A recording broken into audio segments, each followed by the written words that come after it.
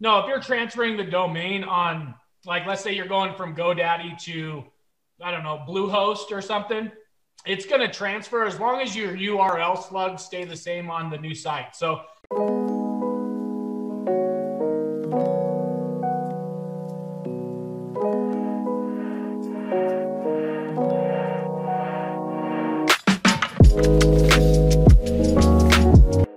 with that, Scott, go ahead and jump in and start asking away on questions, and I'll start seeing what kind of answers I can come up with. All right. Our first question is from uh, Kylie, and she's asking if a company already has a good handful of backlinks and you're doing a web rebuild, but transferring the domain, do the current backlinks transfer with the domain, or do you have to start over?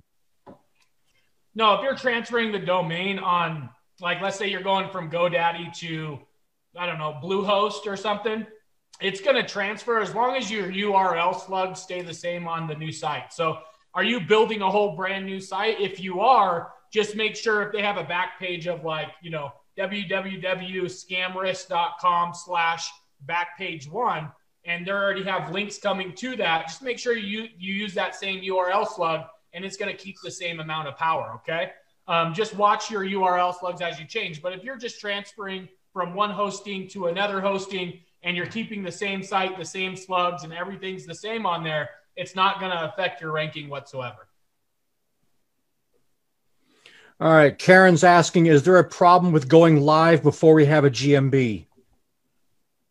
Oh, no. I go live every I go live as soon as the site's ready. Dude, I have a site right now live.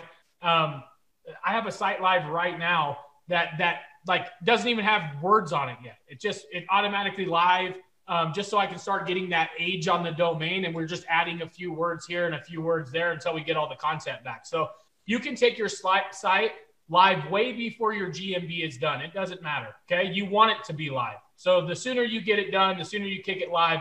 You can wait around for the GMB. You can wait around for your citations. Hell, there's been sites that I put up, guys, that I, I forgot all about that I put up because I put up so many lead gens in one month to where I circle back three months later and I'm like, oh shit, now it's time to start adding backlinks or start getting social profiles.